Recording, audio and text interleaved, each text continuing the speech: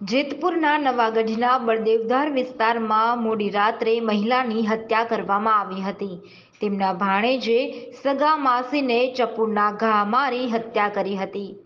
હાલ મહિલાની લાશને પોસ્ટમોર્ટમ અર્થે જેતપુર સરકારી હોસ્પિટલ ખાતે ખસેડવામાં આવી છે. પોલીસ દ્વારા ગુનો નોંધી આગળની કાર્યવાહી હાથ ધરવામાં આવી છે.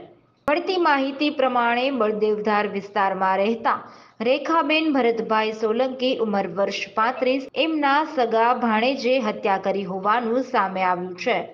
સાવરકુંડલા રહેતા ભાણેજ મુના પટોળિયા નામના યુવાને હત્યા કરી હત્યામાં મહિલાના પુત્રનું પ્રેમ પ્રકરણને કારણે હત્યા કરી હોવાનું સામે આવ્યું છે. મહિલાને સંતાનમાં ત્રણ દીકરી, ચાર પુત્ર છે. આ તમામે મહિલાની છત્રછાયા ગુમાવી છે. હાલ જેતપુર સિટી પોલીસ દ્વારા વધુ તપાસ હાથ ધરવામાં આવી છે. વિધાન એ મારા માસીના છોકરાનું નામ છે મુનો એ મારા ઘરે આવ્યો. મારા મમ્મીને કે પૈસા આપો કાં વિધાનને આપો. કાં વિધાનને માન નાખું કાં બે લાખ રૂપિયા આપો.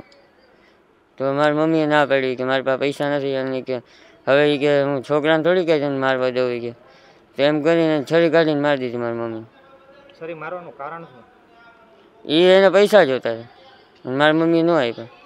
એની બહુ વાર મારું અફેર હતું. એનું વરદીથી સમાધાન થઈ ગયું હતું. એના પૈસા આપી દીધા જે હતી અને અત્યારે પાછો આવ્યો. કે લાવો લાખ રૂપિયા. બે લાખ લાવો એ કે. તો મારી મમ્મી કે નથી તો એ કે વિધાનને છરી મારજો બસ. એ મને છરી મારવા આવતો મારી મમ્મી આડી સહન કરી લીધી સરી મારી આડે પડી ગયા મારી મમ્મી.